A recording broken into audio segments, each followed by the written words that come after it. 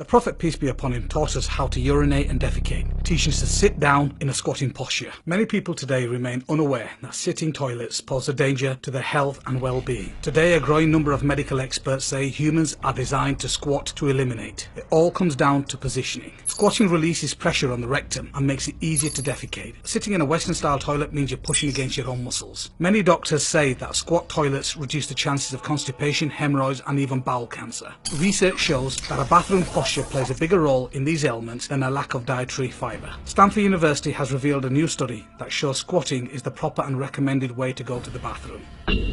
So, what is the big difference between the two positions? Sitting on the modern style Western sit down toilet is designed to place your knees at a 90 degree angle to your abdomen. Sitting on a squatting toilet, your body is placed at a 35 degree angle. Neuroscientists say when a person squats, his or her thighs are pressed against the lower abdomen. The action of these thighs supports the colon and causes the pressure inside the abdominal cavity to increase. The resulting natural pressurization of the colon facilitates waste evacuation. In the squatting position, the pelvis is also suspended like a cradle, and the buttock opens up to expose the anus. Squatting does what sitting cannot do. It releases the kink in the anal canal. This straightens the final pathway between the rectum and the anus, making it easy for the waste to pass out easily and completely. However, in the sitting position, the kink, the bend between the rectum and the anal canal is not released. The abdominal and colon is also deprived of any support from the thighs. As a result, a person using the seated posture for defecation is forced to hold the breath and strain and push downwards for waste evacuation. Yet, evacuation can never be complete, resulting in accumulation and hardening of residual wastes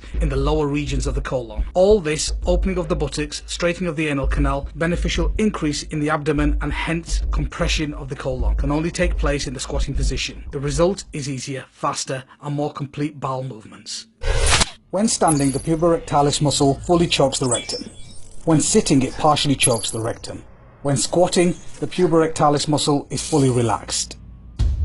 Sitting causes straining that is not healthy. When using modern toilets, it can cause constipation. The National Institute for Health estimates that more than 4 million Americans have constipation, defined as having a bowel movement less than three times per week. Constipation is not only uncomfortable, but has a long-term damaging effect on the colon. One of the processes that happens in the colon is the extraction of water. The colon is constantly extracting water from its contents, transforming the liquid waste to solid. As a result, if elimination is not regular and complete, too much water is extracting causing the waste to become too dry and then cemented to the walls of the colon. If stools sit inside the colon too long without being eliminated, the toxins contained within these may be circulated back into the blood. Furthermore, stools that are held up from being eliminated may generate even more toxins. Hemorrhoids. The Mayo Clinic suggests that hemorrhoid sufferers avoid long periods of standing or sitting. Sitting too long, particularly in the toilet, can increase the pressure of the veins in the anus. According to the Mayo Clinic, by the age of 50, about half of American adults have experienced hemorrhoid symptoms. Hemorrhoids, also called piles, are swollen and inflamed veins in your anus and lower rectum. Hemorrhoids may result from straining during bowel movement or from the increased pressure of these veins during pregnancy, among other causes.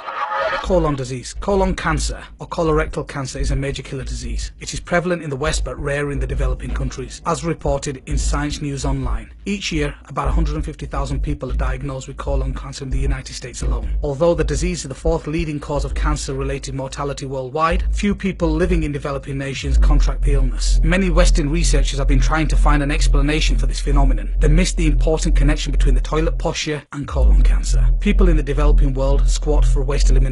People in the West sit. Eliminating completely often helps maintain good colon health. Many studies point to fecal buildup in the colon as a cause of diseases, including colon cancer. Urinary difficulty and infections. Urinary flow is usually stronger and easier when women squat to urinate. The bladder is emptied more completely when squatting rather than sitting or hovering. Squatting can help reduce episodes of urinary tract infections in both frequency and intensity. Pelvic floor issues. One third of women in the United States have one or more pelvic floor disorders. One of the main causes of this condition is straining in the toilet. The sitting position causes a great amount of pressure on the anorectal angle of the colon. Pelvic floor nerves can be protected by squatting for bowel elimination. Men can also suffer from pelvic floor disorders. The appendix. In the squatting position, the right thigh presses against the right lower abdomen, squeezes the cecum from the base. This squeezing action pushes waste from the cecum away from the appendix and the ileocecal valve and up to the ascending colon. The channel opening of the appendix stays clean. The ileocecal valve stays securely closed. In the sitting position, the cecum is not squeezed empty by the right thigh. Also, the colon is not prepared properly for evacuation. As a result, there is a need to strain and push downwards with the diaphragm while holding one's breath. This action inflates and pressurizes the cecum in the wrong direction, downwards, against the appendix and the ileocecal valve. It is like squeezing a tube of toothpaste in the middle, causing the bottom of the tube, the cecum, to inflate. This back pressure can force waste into the appendix with disastrous consequences.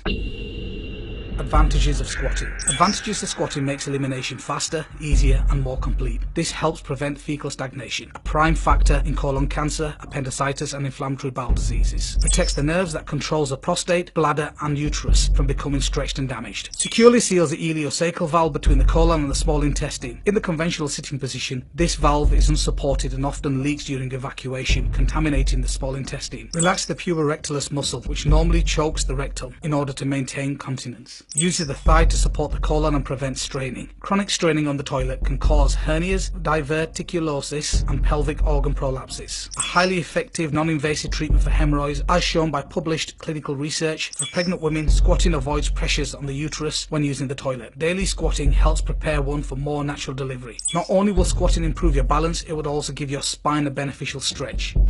A very simple solution is to use a small footstool while you sat on a western sitting toilet. This will put your body in the correct posture by elevating your knees to a 35 degree angle.